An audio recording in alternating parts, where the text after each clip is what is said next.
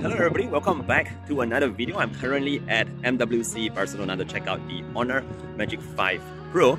You know, this device was just launched yesterday and what really caught my attention was the fact that it got the number one spot on DxOMark for its camera. So this is supposed to be the best camera that you can get in the market right now according to DxOMark. So I thought why not I just head out since I'm traveling around to show you, you know, what kind of pictures you can actually get from the Honor Magic 5 Pro. You know, this is such a strong camera, but from the perspective of an average user, you know, what kind of photos can you really get? So I'm going to show you all that later on. Anyway, uh, I'll be providing my own comments at the end of the video, but for now, do leave your comments and let me know what you think about the pictures that you are seeing on your screens. Let's check it out. Alright guys, we are currently at Tibidabo uh, here in Spain, Barcelona currently at the Ferris wheel, so it's super high over here. But I'll be showing you guys around, like just checking out the theme park sort of thing at the back. And also we'll be testing out the 100 times zoom on the Honor Magic 5 Pro. As you can see at the back, we have here a very wide space, you know, for us to test out the camera. So we'll be doing that. By the way, all the audio that you are hearing right now is directly coming from the phone itself It's not being edited whatsoever and please pardon me for moving my eyes because sometimes I'm looking at the screen, sometimes I'm looking at the cameras.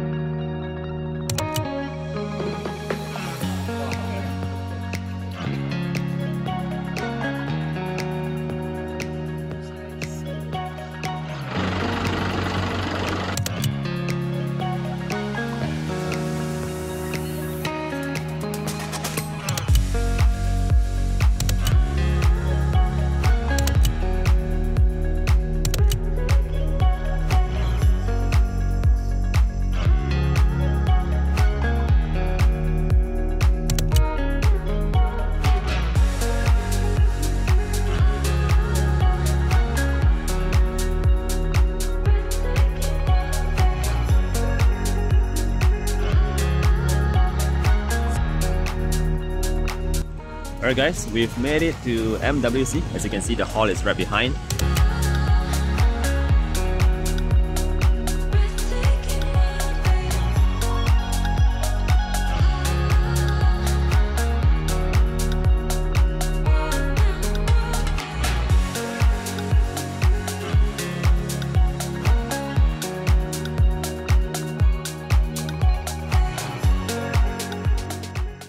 Alright guys, so that's pretty much a very quick look at the pictures and videos that I took on the Magic 5 Pro. Again, just to let you know, none of these photos were edited, all the videos were also directly from the camera. Even the audio, what you're listening right now is directly from the Honor Magic 5 Pro itself, no edits whatsoever.